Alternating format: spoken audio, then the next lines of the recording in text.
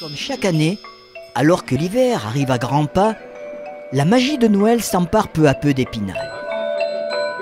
Pendant un mois, petits et grands se retrouvent place des Vosges, histoire de faire un petit tour de glisse sur la patinoire, avant de flâner parmi les chalets du marché de Noël et de succomber à la tentation de gourmandise.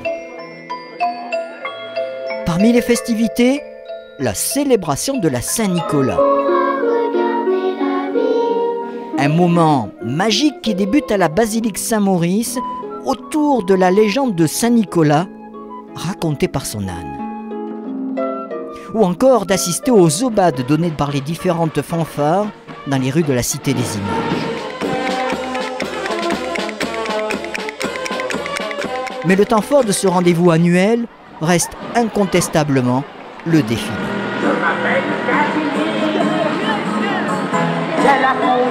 Près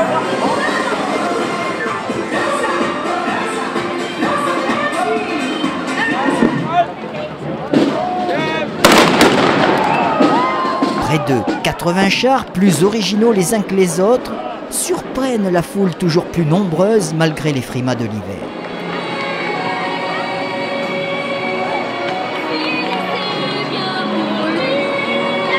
Une occasion unique de voir de près l'impopulaire père Fouettard, mais aussi d'écouter et d'applaudir le vénérable Saint-Nicolas.